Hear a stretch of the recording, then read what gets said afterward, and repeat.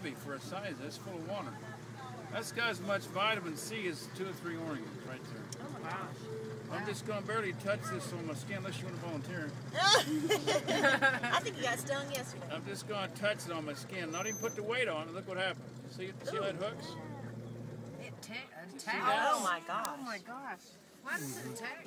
Because it has little little hook barbs on the tips of them. Now, if you look at each one of these thorns, oh, fine, this is a really tough one here because the thorns aren't very long.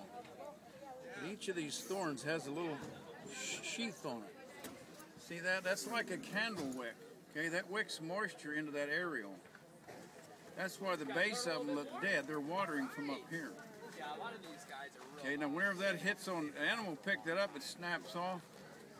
Whenever they'll kick that off, whatever thorn hits the ground, that sucks the moisture up into that areole. That becomes a root, grows into the plant. Oh my gosh.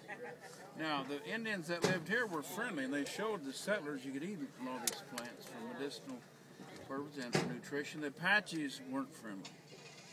They'd strip you naked, drag you through this just for the fun of it. I won't even tell you what the things that I've read that they did. It's incredible. So this was a weapon for them. But it is edible. Let's see what. But of course, first you got to get the thorns off of it. And I don't know if it's going to burn because we've had a lot of rain. Oh, cool. It's not usually that goes up like gasoline, but we've had a lot of moisture, so it's not burning like it should. You burn the thorns off, slice it open. You guys all had a taste of them, right? Yeah. Because inside there is a, a really nutritious pulp. I can see you okay. Now, does that taste like cholla? No, Oh, okay. no, this is this is this is pretty bland. This is a cholla. It's a teddy bear cholla. It's a Oh, now what they were. That was a chain fruit cholla that you were eating. Okay. Well, it's, it's, And then the, it's- the, the it fruit fruit, doesn't was it? off a barrel cactus, the fruit part. Right, and we and we had a little bit of I didn't that. figure that burned. Did you? This is a little more uh, bland tasting. It doesn't really have a lot of flavor to it. Inside looks like an okra, you know, so gooey and moist.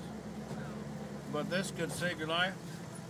Also because people would get dehydrated out here and they couldn't swallow. Your throat swells up. You can't swallow, you could suffocate. So this makes your mouth salivate. So as well as giving you nutrition, it adds moisture into your system. So it's a very valuable plant. You guys already tried to bite of theirs over there, didn't you? We tried. We had the